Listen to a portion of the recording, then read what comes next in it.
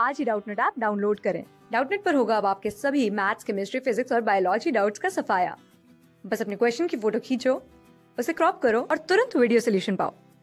Download now हमारा question है apogamous cells are के हमारे जो एपोगेमस सेल्स हैं, वो कैसे होते हैं? तो इस क्वेश्चन में हमें चार ऑप्शन दिए गए हैं, जिनके बेसिस पर हमें अपना करेक्ट आंसर सिलेक्ट करना है। तो सबसे पहले हम बात करते हैं एपोगेमस सेल की। तो एपोगेमस सेल क्या है? जैसा कि हम जानते हैं, कैसे होते हैं हमारे गैमेटोफिटिक है। कैसे हैं? गैमेटोफाइट है और गैमेटोफाइट हमारा क्या होता है? हैप्लोइड होता है।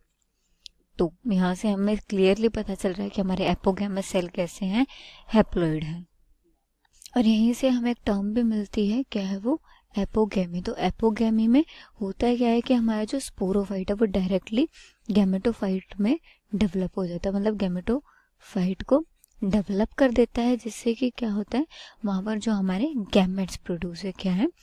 गैमेट्स जो प्रोड्यूस हैं, उनकी फ्यूजन के, उनके फ्यूजन के बिना तो उसको हम बोलते हैं एपोगेमी। तो अब हम बात करते हैं हमारे राइट ऑप्शन की।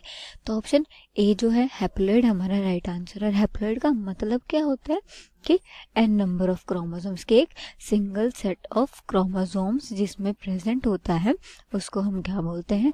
हैप्लोइड तो बी क्या दिया गया है हमें? डिप्लोइड मतलब कि टू एन तो ये क्या है? हमारा रॉन्ग है क्योंकि हमारा स्पोरोफाइट टू एन होता है। सी क्या है?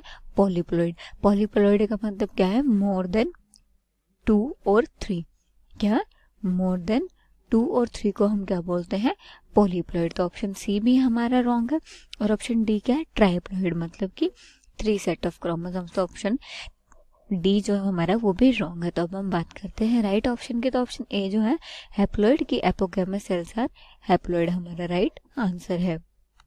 क्लास सिक्स से ट्वेल्थ से लेके NEET I I T JEE mains और एडवांस के लेवल तक। दस मिलियन से ज़्यादा स्टूडेंट्स का भरोसा।